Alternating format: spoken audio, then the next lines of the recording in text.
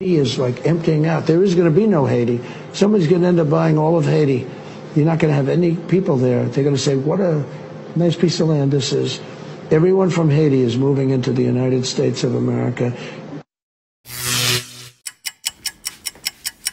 All right, y'all see the precepts is coming up. Y'all read it, y'all search the scriptures. You see the perpetual hatred, Esau, Trump, all of them, Biden, all of them, the oligarchs, all of them, our enemy have against us. So that perpetual hatred is still there. Rem remember that.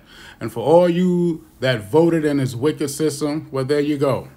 You supposed to have been keeping the laws and voting for Hamashiach Yahweh That's who you uh, show your uh, allegiance to, Hamashiach Yahweh the anointed Savior. All right? You know what? I'm going to read Deuteronomy, 17th chapter, and the 14th verse. When thou art come unto the land which Yahweh thy power giveth thee, and shall possess it, and shall dwell therein, and shall say, I will set a king over me, like as all the nations that are about me.